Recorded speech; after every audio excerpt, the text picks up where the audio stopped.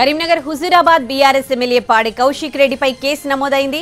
BRS కార్యకర్తల సమావేశంలో పోలీసులను విమర్శిస్తూ వ్యాఖ్యలు చేశారు కౌశిక్. పోలీసుల తీరుపై ఆగ్రహం వ్యక్తం చేశారు. తమ పార్టీ అధికారంలోకి రాగానే వడ్డీతో సహా చెల్లిస్తామని కామెంట్ చేశారు.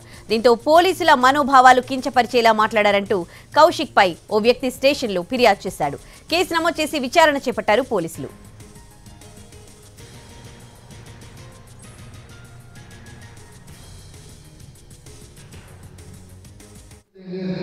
మళ్ళా మేము వచ్చిన తర్వాత బిడ్డ మిత్తితో సహా వసూలు చేస్తాం. జాగ్రత్తగా ఉంటుంది.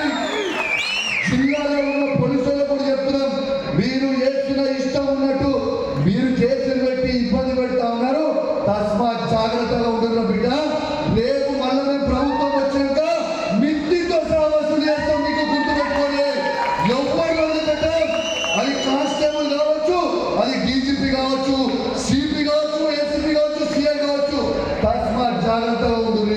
మీరు భయపడిస్తే ఇక కూడా భయపడేటోడు లేడు.